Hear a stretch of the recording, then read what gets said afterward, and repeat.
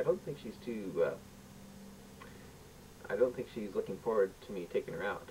If I had a sports car, or better looking, then I think she might. But uh, she likes guys with sports cars and they're rich. She goes for that sort of thing. She's about as interested in me as I'm interested in life. Anyway, I seriously okay. P.P.S. I'm writing a letter conclusion to the book Newton as a Man. Uh, uh, not a better, not a letter, but a better conclusion to Newton as a Man. The story I'm now writing is called Sardana versus Newton. I just finished taping Newton as a Man last week, and boy, talk about a lousy, boring, stupid Newton novel.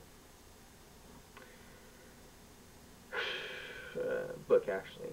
I knew it was bad, but I didn't think it was that bad. The ending of it, I feel, is is what really makes the book turn out worthless and stupid. It's also boring.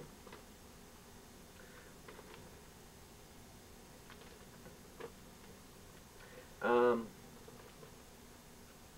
June 1st, 1988, Wednesday night.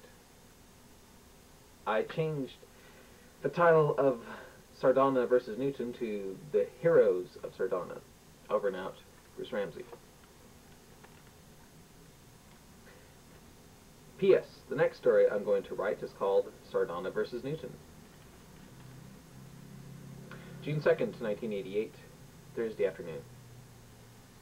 I finished the story The Heroes of Sardana today, and I taped it, but I certainly, I'm certainly not pleased with it.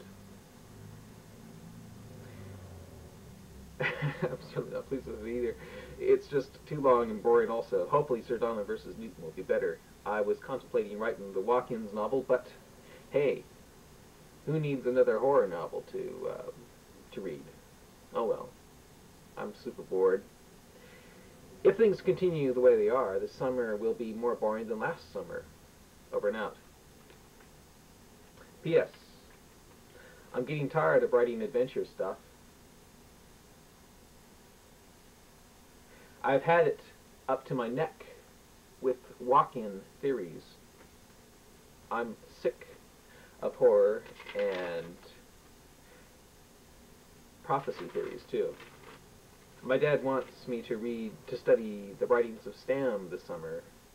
Funny thing though, I'm getting bored with theological ideas. I realize Stam is basically right and universal salvation is true, but wow, it all doesn't seem to thrill me anymore. I wonder if I'm losing my soul.